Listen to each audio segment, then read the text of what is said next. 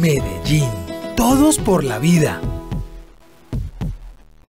Una invitación muy especial a todos para que nos acompañen este martes 8 de diciembre en el tradicional Carnaval de Luces, Mitos y Leyendas que realiza la ciudad desde las 7 de la noche, partiendo eh, en el punto cero en la zona de la estación Industriales con la avenida regional, un recorrido de un poco más de dos kilómetros que va a ofrecer a la ciudad un panorama general de lo que son esas leyendas y ese patrimonio de nuestra eh, región, expresado por 19 comparsas y más de 900 artistas locales y nacionales que nos acompañan este año en, en este evento que ya se volvió tradicional en la ciudad como parte de la programación de Sembrino.